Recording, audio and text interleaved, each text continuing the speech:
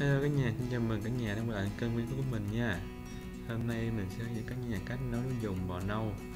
Loại nước dùng được sử dụng rất nhiều trong chế biến cái món ăn Âu các bạn. Sau này mình sẽ hướng dẫn các bạn cái món ăn Âu sẽ được sử dụng nước dùng này. Giờ chúng ta sẽ nấu nước dùng trứng nha các bạn. Về nguyên liệu nấu nước dùng sẽ có một ký xương bò nha các bạn. Nó sử dụng các bạn nên dùng ống ống bò càng tốt nha. Nó có tủy sẽ thơm. Hành tây chúng sẽ sử dụng 300 gram các bạn cà rốt là 150 gram, cần tây cũng vậy, bằng cà rốt là 150 gram luôn. Về tomato paste chúng ta sẽ có sử dụng là à, 150 đến 200 gram các bạn. Độ va chúng sẽ sử dụng là 100 đến 120 ml nha. Rồi, nước chúng ta sẽ nấu à, là 4 đến 5 lít nha các bạn.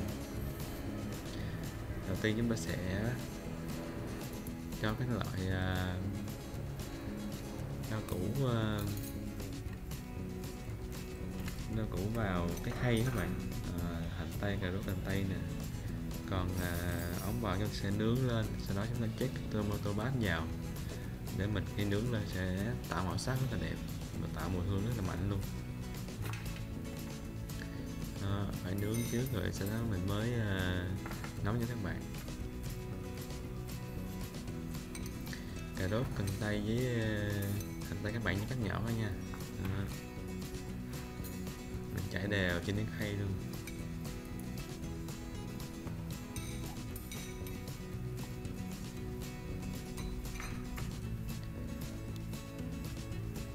Nước dùng nó sẽ nấu từ 4 5 lít chúng sẽ nấu ờ, uh, liu liu liu lửa ra nha. Ừ. thì khi nấu xong chúng sẽ thu được cỡ 2 đến lít các bạn đó là 50 phần trăm còn lại đó. Phần nửa còn lại đó. Về ống heo thì mình sẽ sử dụng cái ờ, ống ờ, bờ bò sử dụng cái ống bò các bạn. Tại vì cái ống bò sẽ có tỉ. Khi nấu cái nước rất là ngọt và thơm luôn. Thơm mùi bò rất là nồng nàn.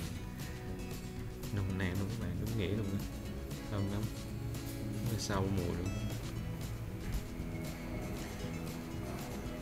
Về ống bò chúng ta phải nướng nha. Nướng lên để à, cái khi mà mình nấu á, sẽ tiết ra chất nhanh hơn mà khi mình nướng á, thì cái chất ngọt á, nó sẽ đẩy ra rất là nhanh. Đó. thì cái công thức đẹp của áp dụng để mình nấu cái món liên quan tới bò như bún bò Huế mà cũng phải nướng nha. Nướng ống thịt bò. Mấy ống bò do do là chất rất là nhiều. Ống heo cũng vậy. Đó, các bạn nên nướng trước. Nó như các gia vị mình cũng hay rang á đó là cũng tại gia nhiệt trước á. Nó tạo mùi rất là nồng nàn thì xương cũng vậy phải như vậy trước. Để khi mà nấu sẽ ra cái phần uh, tăng cái thời gian mà mình nấu để uh, giảm bớt uh, cái uh, nguyên liệu điện điện uh, ga như vậy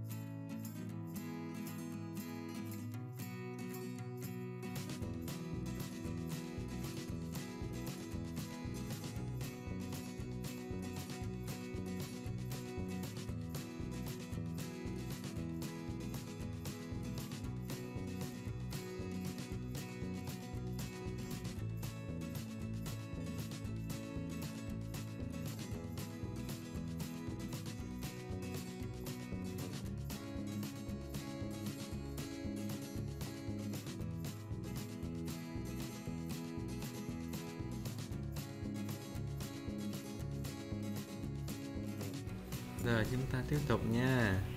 Sau khi đã nướng xong ờ, ống bò thì chúng ta sẽ bắt đầu ờ, mình chiết cái ờ, tomato paste vào nha. Ống bò sau khi nướng các bạn nhớ rửa sạch nha các bạn ơi. Rửa sạch đó tức là bỏ những cái vệt đen đây đó sẽ tạo mùi hăng rất khó chịu nên ta bỏ mấy cái vệt đen cho cháy đó. Rồi sau đó mình cho vào chế tô tô bát xung quanh cái cục xương ống bò nha. Đó sau uh, mình sử dụng là 150 đến 200 gram uh, tomato để mình để mình chéo lên nha các bạn. Đó. chế này ống bò này đó tạo cái mùi uh, thơm chua chua dịu dịu đó, của tô tát rồi thứ hai là tạo cái màu à, màu nâu màu à, màu rất là đẹp luôn các bạn.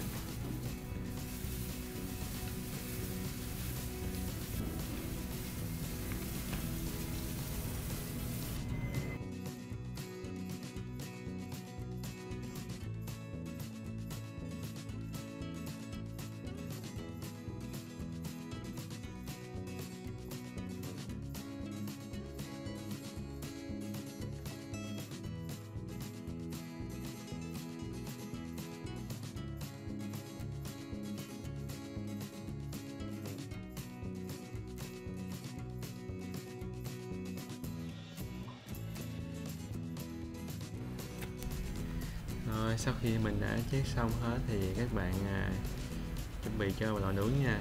Trước đó thì mình sẽ mở lò nướng sẵn ở nhiệt độ 250 độ luôn các bạn. Để khi mình cho vào mình nướng thôi. Thì các bạn à, nướng cái này trong thời gian cỡ từ 30 phút đến 40 phút nha. Thời gian đó để cho mình sẽ làm chín cái hành tây mình nướng hành tây cà rốt á. Với à, cần tây nó chín luôn. Tạo mùi thơm rất là thơm rồi xương trong cái gì nó bắt đầu nó tạo độ nóng kịch dính chung với cái cà chua tamarind nè. Ăn màu rất là đẹp, khi mình nấu sẽ rất là thơm. Rồi bây giờ mình chuẩn bị cho vào khay vào là nướng với các bạn.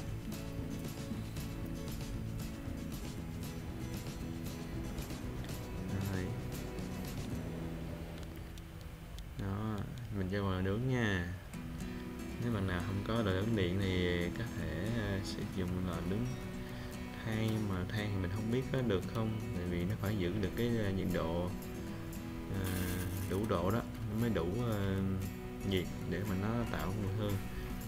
Rồi nguyên liệu uh, tạo mùi thì sẽ có lá thiên khôi các bạn là một gram nha.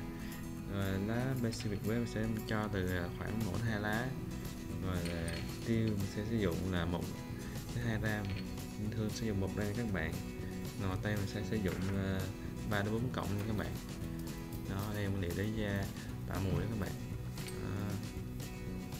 tất cả mình sẽ cho vào cái à,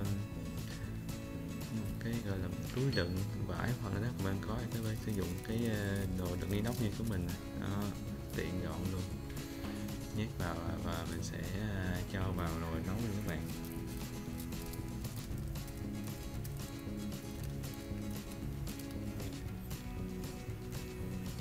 Thì các nguyên liệu này á, tạo mùi hương rất là nồng nàn luôn các bạn. Đó. vì cái và cái mùi thơm của bò thì sẽ cần thêm những cái mùi để tạo gia vị những mùi này.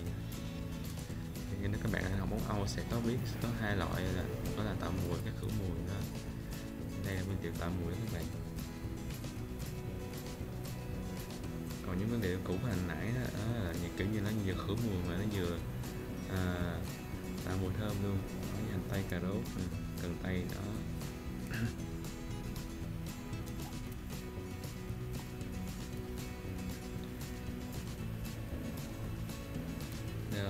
Tiếp tục nha các bạn. Rồi chúng ta sẽ bắt đầu lấy uh, cái phần mình đã nướng nãy đó ở phần uh, xương nè cà chua đó các bạn thấy đẹp không? Đó, là nó nóng xong nửa tiếng xong bắt đầu đó định hình thấy không? Cà chua đã tạo lên màu rất là đẹp. Đó, rau củ cũng nó chín luôn rồi. Bây giờ mình sẽ cho các nguyên liệu trên và mình bắt đầu xào với các bạn. Xào với rượu vang đỏ. Đó. đỏ sẽ tác động vào xương á để đẩy ờ, các ờ, chất ngọt và các ờ, cà chua á, tan hòa tan vào nhau để lát mình nấu sẽ rất là đẹp màu và rất là thơm. Mình cho các nguyên liệu trên vào chảo nha các bạn.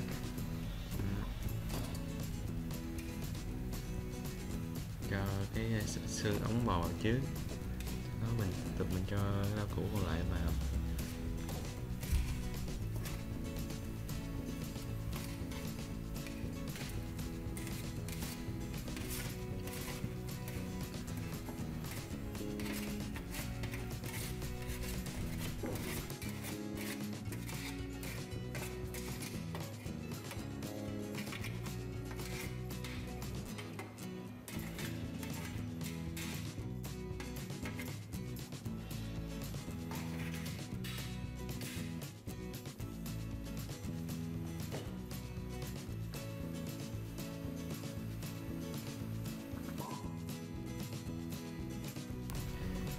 Tiếp sau khi cho hết thì bắt đầu mình cho cái rượu ban đỏ vào nha các bạn mình sẽ cho là 100 đến 120 à, ml nha các bạn đó. bây giờ bắt đầu mình nấu lên bắt đầu mình gia nhiệt thôi cho các uh, tomato nó tan lên với rượu nha các bạn đó. chứ nếu mình nấu nó sẽ à, lên màu lâu nếu mình không có gia nhiệt uh, mình, uh, sử dụng phương pháp này trước đó, mình vừa áp chảo mà vừa những như xào lên đó các bạn. Đó, cho nó đủ thấm vào rau củ và xương rồi đó, rất là thơm mùi đủ vang luôn. Tuyệt vời các bạn ơi.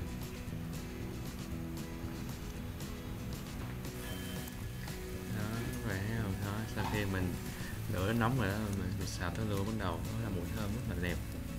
Rất là nồng ngạt luôn các bạn. Tuyệt vời luôn thì cái nước dùng này rất quan trọng cái này mình sẽ nấu các món bò nước bò dùng sử dụng nước dùng này để tạo cái mùi nước sốt nền nó rất là ngon. Các bạn nấu nước sốt này mà nước dùng càng thấm thì khi làm nước sốt sẽ rất là ngon. Còn nếu các bạn nấu nước dùng này lỏng thì khi nấu nước sốt sẽ không được ngon các bạn nha. Các bạn lưu ý nha. Tiếp theo mình sẽ bắt nồi nước lên bắt đầu mình sẽ cho cái nguyên liệu trên và bắt đầu mình nấu các bạn ơi. Đó, mình sẽ nấu uh, từ 4 lít xuống còn 2 lít nước dùng nha. Đó cho cái nguyên liệu trên vào nồi hết. Đó, rau củ xương nè cuối cùng là mình cho thêm túi gia vị vào bắt đầu nấu thôi. Nấu này các bạn nếu giữ khó thì có thể uh, nấu khoảng 8 12 tiếng nha. Đó nấu lửa nhỏ nhỏ riêu thôi đó 8 12 tiếng sẽ ra đủ hoàn tràn được cái, cái, cái phần mà nước ngọt trong cái xương á. Còn nếu các bạn nào mà không thời gian hay nấu từ 6 tiếng 8 tiếng cũng được. Đó, nhưng mà nó chưa là được hết rồi nó chỉ là khoảng 7 phần trăm thôi đó. đó các bạn lưu ý nha bò phải là 8 12 tiếng còn heo thì ngắn hơn khoảng 6 8 tiếng đổ lại thôi. Gà hơn gà khoảng 23 tiếng cá thì khoảng nửa tiếng đến tiếng. Nữa các bạn lưu ý nha. Đó, sau khi mình nấu bắt đầu từ 3 4 tiếng bắt đầu rồi đó thì chế mắt không phải bọt chứ các bạn. Hớt bọt chứ đó thì cái này mình nấu uh, được khoảng cỡ 15 20 phút bắt đầu nó sôi đó, thì mình sẽ bọt. Thì hết bọt này thì cũng giống như cái bài mình chỉ các bạn làm nấu dùng gà trong đó, đó khi đợi nước sôi hoàn toàn bạn hãy hớt nha. Đó là bọt đâu hết cái đó mình không có lùa bọt nhiều nha sẽ làm bể bọt nước nước sẽ bị đục các bạn. Và các bạn à, hớt bọt thì sẽ mình sẽ từng muỗng cái chén nước nha. Để mình hớt thì nó sẽ à, cái mùi á, sẽ bị à, dơ á, nên sẽ mình sẽ dùng một cái chén nước để mình hớt bọt vậy đó thì cái mùi nó cũng sạch sẽ hơn. Các bạn lưu ý nha.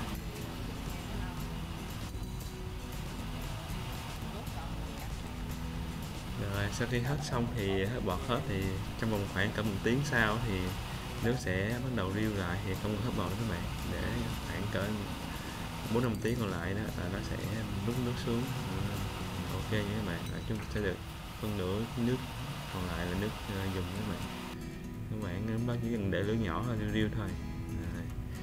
rồi sau thời gian mình nấu các bạn còn hai lít thêm hết nước nữa. À, nguội lại đó. Nước rất là đẹp nha.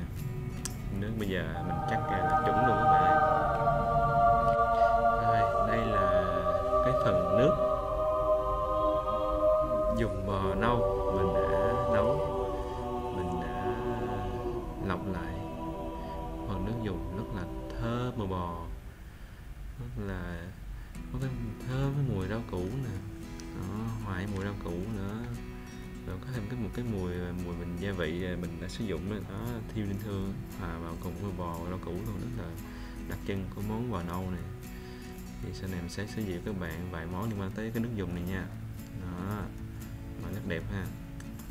Đó, các bạn thấy không? Đó, sau này cái này cũng sẽ do sử dụng nấu cái nước sốt để mi clan hay các bạn. Rồi đơn giản lắm thấy không? Các bạn à, cứ thực hiện như theo từng bước của mình nha. Các thắc mắc câu hỏi của mình nha các bạn. Hẹn các bạn ở những bài nấu ăn sau nha. Bye bye.